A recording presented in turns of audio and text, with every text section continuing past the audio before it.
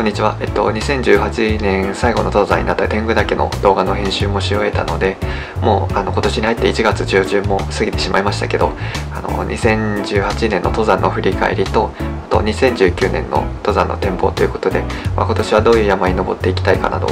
あのお話できたらなと思います。まあ、一応写真と動画を交えながら、あの話していきたいんですけど、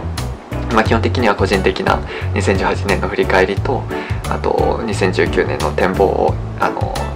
だらだらとちょっと雑談みたいな感じで話すだけの動画なので、まあ、気になる方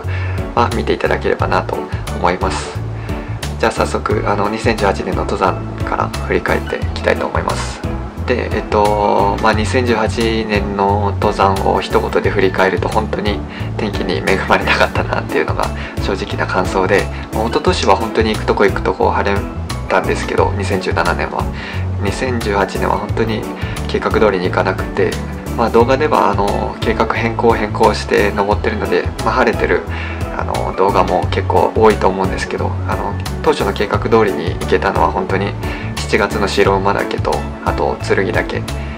ぐらいであとは全部計画変更していった登山ばっかりでしたね。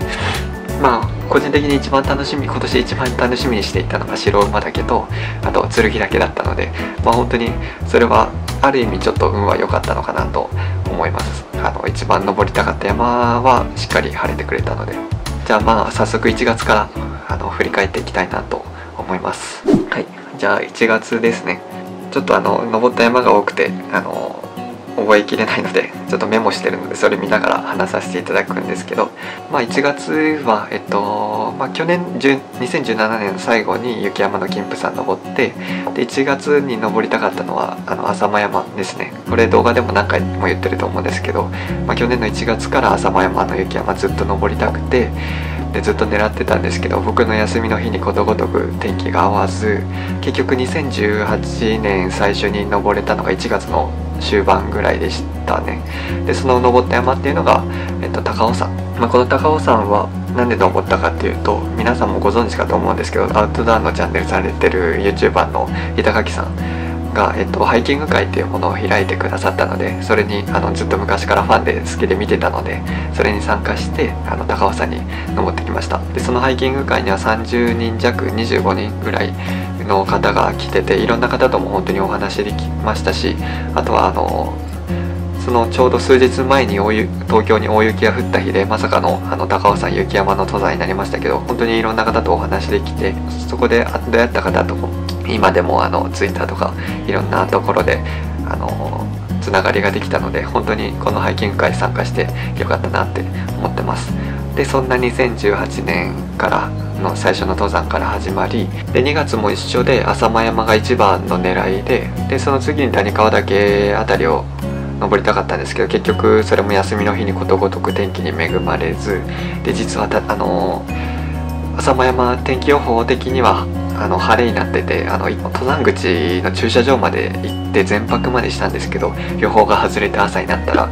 大雪でっていう感じで 結局ただ寒い中寝てそのまま登らず帰ってきたっていうエピソードもあるんですけどまあそんな感じで結局天気に恵まれず登れず結局登ったのが丹沢の遠野岳神奈川県にある。で雪が積もったっていう情報を見て雪が残ってるうちに絶対登りたかったのであの遠野岳に登ってきました。矢櫃峠から登ってきたんですけど矢櫃峠からの道は意外としんどくてあの片道4時間ででそこに車も止めてたのであの帰りもあの同じ、まあ、34時間ぐらいかけて帰りも帰って意外としんどかったんですけど、まあ、雪も12本アイゼン一応確か持って行ってたのかな？持って行ってたんですけど雪が積もったばっかりの情報を見るとラッセルしたとかいう情報もあったんですけど僕が行った時にはもうだいぶ踏み固められてて結局チェーンスパイクだけで山頂まで行けた行けたのとあとは山頂から初めて富士山の景色が見れたので今まで天気に恵まれず山頂から山頂に行くといつもかすってたっていうことばっかりだったので初めて見れて本当に良かったなと思います。で結局2月は登れたのは遠野岳だけ。で3月も一緒で、えっと、浅間山か天狗岳を狙っていったんですけどそれもまた天気に恵まれず。で結局登ったのが立品山ですね八ヶ岳の。まあ、立科山登れるんなら浅間山登れるだろうって思うかもしれないんですけど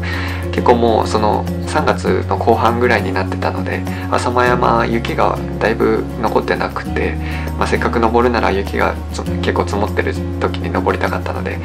まあ、登りたい山でもありましたしいい条件の時に登りたいって思ってたら結局、まあ、そんなことばっかり言ってるから登れないかもしれないんですけどで結局浅間山登れずで立科山に登ってきました。これはまあ動画にしてるんで詳しくは説明しないですけどまあ、登山口から2時間ぐらいで登れてまあまあ急登でしたけど山頂からの景色はすごい綺麗で、まあ、ただ、まあ、3月の後半だったんで雪もだいぶ少なくなってて、まあ、気温もそんなに低くなかったのでそこまで寒くなかったですけど、まあ、本当に手軽に手軽というか、まあ、2時間ぐらいで登れるのでいい山だなと思いました。で3月もう一つ登ったのがこれも動画にしてるんで、まあ、ご存知かと思うんですけどあの山中湖の近くにある、えっと、明神山っていうところ、まあ、先日の動画でも3月に登りましたよっていう話だと思うんですけど、まあ、これは本当に友達とあの富士山巡りしてて、まあ、偶然見つけて景色綺麗そうだからちょっと軽く登ってみようよって言って登ってみたらあの山頂に着いちゃったっていう感じなんですけどなんで全然登山の格好じゃなく普通の私服で登ってしまったんですけど、まあ、ここもススキが本当にすごい綺麗でしっかり動画にはしてないですけどすごくおすすめなのであの登られてない方は是非登られてみてください。で3月もう一つ行ったのが木曽駒ヶ岳。これ動画にしてないんですけど、まあ、なんで動画にしなかったかっていうとあのこれはこの日は講習会に行ってきました。ピッケルとかアイゼンワークとかの講習会。で実はまあ木曽駒ヶ岳は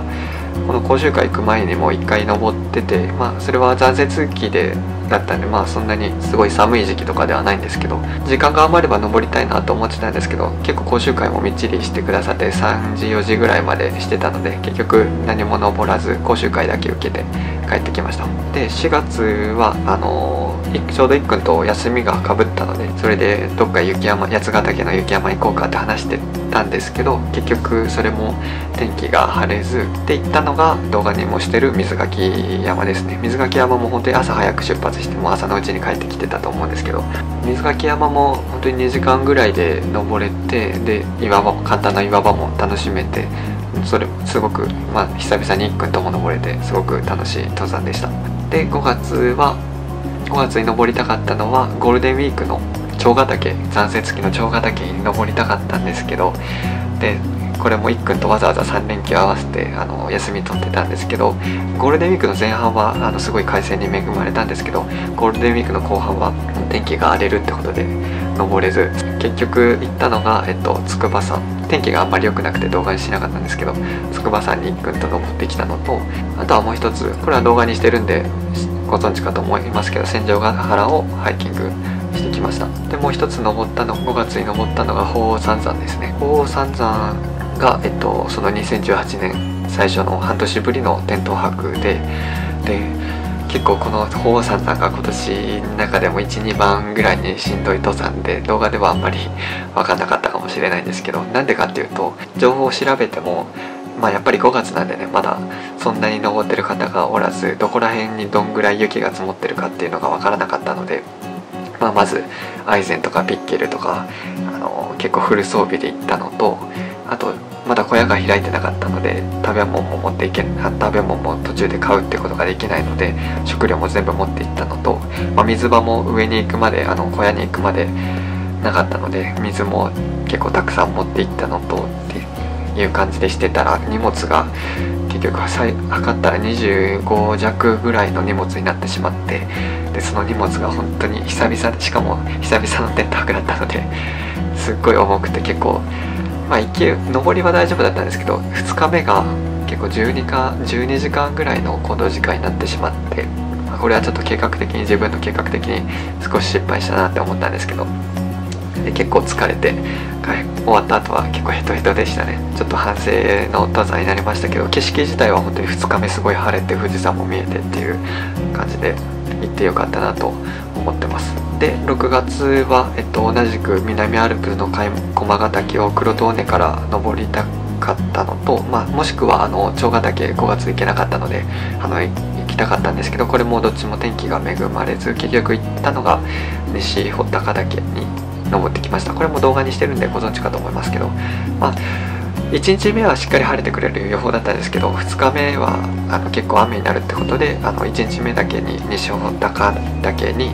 あのピストンでアタックして登ったんですけど、まあ、2日目結局あの後結構雨降ってきてたので長ヶ岳には、まあ、長ヶ岳行くならちょっと日帰りは厳しいかなと思うので変更して正解だったなとは思いますしあと今年も最初から剣岳には登る当初から登る計画だったので、まあ、そのすごいいい練習にもなって二条高岳登ってよかったですね。しかもいっくんと一緒に行けたのですごい楽しかったです。あと下でキャンプしたあの上高地でキャンプもあそこもすごい景色が良かったのでただキャンプするだけでもおすすめかなと思います。で7月がもう個人的にはもう毎年恒例になってる富士登山ですね、まあ、富士山はもう3年連続ぐらいで登ってますけど、富士山は結構登る山じゃなくて見る山だよみたいな感じで言われるんですけど、まあ、富士山個人的にはまあ夏山始まったら富士山登ったかないとなんとなく夏山が始まったなっていう感覚にならなくてもでそれで今年も登ってきたんですけどまああのいろいろ言われますけど富士山は富士山のご来光は個人的には本当にどの山から見るご来光よりもすごい綺麗だと思ってるので今年もできれば登りに行きたいなと思ってます。で7月後半に登ったのが今年すごく楽しみにしてた白馬岳。白馬岳本当に休み取った日にドンピシャで晴れてくれて今年やっと予定通りに行けたのが本当に白馬岳ですね。白馬岳は設計がありで稜線からの景色もすごい綺麗ですし星空も見れて今年見た景色の中でも一番すごい感動したかなと思います。本当に白馬岳おすすめなのでまあ、登ったことのない方は是非登ってみてほしいですね。で8月が、まあ、何度も動画でも言ってると思うんですけど地元が関西なので比較的近い大山にいっくんと登ってきたのと、まあ、この時は天気はもう完全にガスの中だったんですけど、まあ、大山はこれから何度でも登れるのでまた晴れた日に登りたいなと思ってるのとで8月もう一つ登ってきたのが山の日に登った南岳ですね。当初の予定としては、えっと、南岳へ行って槍ヶ岳登ってすごろく岳行って集会で帰ってこようかなと思ってたんですけど、まあ、動画でも言ってたように天気に天気が結構荒れてきてしまったのと途中でちょっと膝が痛くなってきてしまったので無念の敗退ということで南岳だけ登って1日で2泊3日のところを1日で下山してきましたけど南岳は自分の中では初めての標高差駐車場からだと標高差 2000m 以上あってしかも行動時間もコースタイ標準コースタイムでも89時間ぐらいのすごい長いコースタイムでしかもテント泊だったんで結構しんどかったんですけどまあ動画ではあのー、南岳新道に入ってからの結構動画にしてたと思うんですけどで個人的に一番しんどかったのはあの槍平までの道のりで、まあ、槍平までの道のりはそんなにあの見どころもなかったんであんまり動画に撮ってなくて動画では一瞬で終わらせましたけどあの地味に槍平小屋まであの駐車場から槍平小屋まで標高差 1000m ありますしでしかも4時間。で景色もあの基本的にずっと樹林帯の道でで天気もどんよりして周りも何も見えずで上高地側から槍ヶ岳に登る時はまあ1時間おきぐらいにあの小屋が横とかあの明神とかそういう感じの小屋があると思うんですけどそこは本当に槍平小屋まで行くまでそういうのがなくまああるのはあるんですけどあんまり営業してる感じじゃなかったのでずっとひたすら標高 1000m を景色もなく4時間登り続けてっていう感じであそこが地味にしんどかったですね。動画にはしてなかったですけどっていう感じで8月は終わり結局その後どこにも登れず。で9月が、えっと、待ちに待ったあの楽しみこの1年間ずっと楽しみにしてたって言ったと思うんですけどずっと計画立てた剣岳に登ってきたんですけどその前にあのその練習として妙義山に登ってきました、まあ、結構剣岳の練習とか行ってあの登ってますけど妙義山本当に個人的には北アルプスとかの剣岳とか槍ヶ岳とかそういうのは本当に大人気なんですっごいしっかり整備されてて比較的、まあ、初めて行くと多分怖いと思うんですけど、まあ、慣れてれば基本的にはあの登れてしまうんですけど、妙義山は北アルプスとかよりはどっちかっていうとはそこまでしっかり整備、まあ、それでも整備はされてるんですけど北アルプスに比べるとちょっと整備がされてなかったりするんで、まあ、個人的には妙義山の方があの難しいかなっていう感想ですしまあ、これも動画では言ってないですけどその日にあの亡くなった方が発見されてたりっていう感じの山なので結構危ないかなと。まあもちろんあのコースタイムとかも北アルプスの剣岳とかとは全然違いますしまあ比較はしにくいんですけど、まあ、個人的にはそういう感想です。で剣岳登ってきてで剣岳も今年登りたかった山の一つで一訓と登山だったんですけどこれも剣岳登る日にはしっかり快晴で本当に晴れてよかったなと思います、まあ、何度も動画でも言ってるように最終的にはいつかジャンダルムに行きたいのでまあその練習としても剣岳本当に良かったなと思います。多分ジャンダルムはもっともっと全然難しいと思うんですけどもうちょっとあの練習積んでいきたいなと思います。10月になって登ったのが紅葉の、えっと、私物山に大瀬ヶ原の登りたかったんですけどそれはそれも天気に恵まれず結局登らずキャンプだけしたのとあと10月登ったのが霧ヶ峰に登ってきました。でまあこの2つは動画にしてるんでご存知かと思うんですけど、まあ、秘話として本当に一番登りたかったというか、まあ、歩きたかったのは下の廊下で実はこれをどこあの言ってないんですけどロッチ黒四の立山のあの下の廊下歩こうと思ったら1日で麻生原温泉まで行くのに結構時間かかるのでトローリーバスが始発が結構遅いのでそれで行ってしまうと構急いで急いであの歩いていかないといけないので、まあ、全泊してロッチ黒4で実は全泊までしてたんですけどこれが決定的だったんですけどあの本当は、まあ、3連休取っててで当初はその3連休の1日目であの立山まで移動してで23日目であの下の廊下歩こうと思ってたんですけどまあなんせその1日目の夜から天気が荒れるってことでで急遽前倒しであのまあその3連休のうちの1日目の日に天気が晴れてるうちに歩こうと思ってあのそのさらに前日に仕事終わりにそのまま立山に向かってで夕方着いてロッジ黒ように泊まったんですけどでもうそのテントワークの準備とかもしてあのそのしてたんですけど急いで出たせいかそのザックの隣すぐ隣にヘルメットを置いてたんですけどヘルメットを忘れてしまったことをそのテント場に着いてから気づいてしまってでまあ正直行こうと思えば行けたんですけどまあその数日前に下の廊下もなくなったっていう情報があったのと、まあ、装備もヘルメットもなければなくても別に行けるのは行けるんですけど結構下が低いのでで頭を打つのも怖かったですしで亡くなったっていう情報もあったりしたのでまあちょっと大事をとってやめたっていう感じで結局行ったのが霧ヶ峰ですね、まあ、これは本当に秘話ですけど。なので下の廊下は今年はお預けになりました。で11月に登ったのがこれも動画にしてますけどあの雲取山に登ってきました。奥多摩小屋があの今年度で今年の3月で閉鎖なのでそれまでには絶対テント泊したいなと動画でも言ったんですけど登りたかったのであの奥多摩小屋のテント泊で雲取山に登ってきて昨日まあ本当に山頂からの景色は本当にサプライズで最高の雲海で、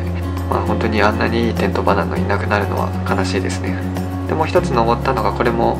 動画にはしてないですけど職場の先輩が山登り連れてってって言われたのでまた今年2回目の筑波山に登ってきたのとあとは次12月が、まあ、もう最近なので最近ですけど石割山に登ってきたのと。これも浅間山に本当に登りたかった本当は登りたかったんですけど浅間山天気が恵まれず石割山に急遽変更して登ってきたのとで最後あの先日アップした天狗岳に登ってきました。っていうこんな感じの、まあ、秘話も含めて2018年が登山の振り返りになります。まあ本当に天気には恵まれなかったんですけどなんだかんだあのたくさん山登れていい経験も積めたかなと思います。でここから2019年の展望というかどういう計画で登ろうかなっていうことなんですけど、まあ、今年は、まあ、去年の反省も含めて去年はもうほんと1月にどこどこ登る2月にどこどこ登るっていう風に計画立ててたんですけど、まあ、多分山の天気はコロコロからって変わって今年も計画通りに多分行かないので今年はざっくりした計画で行こうかな思ってるんですけど、まあ、まず冬はえっとまあそれ本当にこの1年間ずっと登ろうと登ろう登ろう思ってずっと登れてないまず浅間山に。今年こそは絶対登りたいのとあと天気が晴れれば谷川岳に行きたいなと思ってます。あとはまあ東北の山とかもあの雪山でできれば天気が晴れればあの行きたいなと思ってるのとであとは4月か5月に今年行けなかった長ヶ岳にリベンジで登りたいなって思ってます。テント泊でこれもまあどうですかね。天気が晴れてくれればいいんですけど。で夏行きたいのは、えっと、今年行けなかったすごろく岳本当にすごろく岳から見るあの槍ヶ岳の景色が見たくてあのすごろく岳に登りたいのでまずは一つはすごろく岳に登りたいのとあともう一つ個人的に大きな計画としては五竜と鹿島をあの縦走したいなと思ってて、まあ、この2つ夏は今年絶対行きたいなと思ってます。で秋は秋は決めてないですけどまあ唐沢カールもいいんですけど行ったことないところにできれば行きたいのでうんまあ秋どこにしましょうかね。あんまり考えてない。秋についてはあんまりまだ考えてないんですけどまあ何かあのー、おすすめのところあったら教えてくれれば嬉しいですね。あそうだ。あとは下のローが絶対今年は天気が恵まれれば行きたいと思ってます。で冬は今年は燕岳に雪の燕岳に年越しで登りたいなと思ってて、まあ、そのためにあの今年雪山いろいろ経験積んできたいんですけど。でそれも、まあ、今年登りたかったっていうのがあったんで天狗岳に小屋泊で行ってきたんですけど天気が晴れれば目標としてはあの燕岳に小屋泊で登れたらなと雪山に登れたらなと思ってます。はい。とまあこんな感じのダラダラと話してきましたけど2018年の振り返りとあの今年の登山の展望はこんな感じになります。まあおすすめの山とかあれば教えていただけると嬉しいです。はい。今回の動画は以上になります。ご視聴ありがとうございました